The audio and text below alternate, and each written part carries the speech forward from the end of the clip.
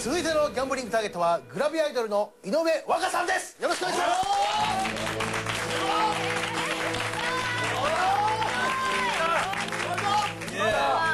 す。さあ中高生の皆さんお待たせいたしました。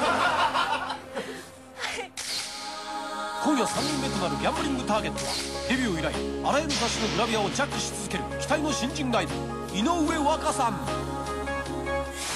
なんとこの井上さん皆さんびっくりしないでくださいよ、あのマリリン・モンローとスリーサイズが一緒でございます。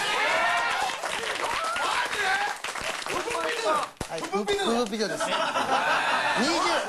はい。平成のマリリン・モンローでございます。すごいですよ。ね大それてるんですけど。い。やとんでもございません。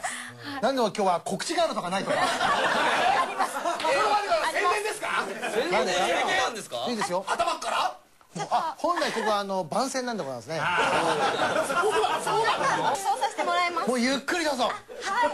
ゆっくりどうぞ。はい、私の DVD とビデオ「初恋」がデジキューブより2月14日に発売されました。されました。はい。発売されました。それと、それとそうなんですよ。どうぞどうぞ。ファースト写真集の W が学研から2月の27日に発売されますので皆さん買ってください。こ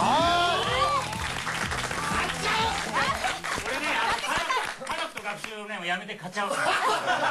まだ撮って。たんですか待ってください。見すぎやわ。ちなみにこバスおいくつですか？ラストは90 90です。おいおいおい。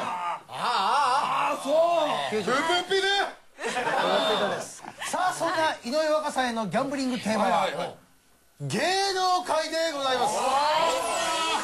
さあそれではですねもう最後なんだね。そりゃそうですよ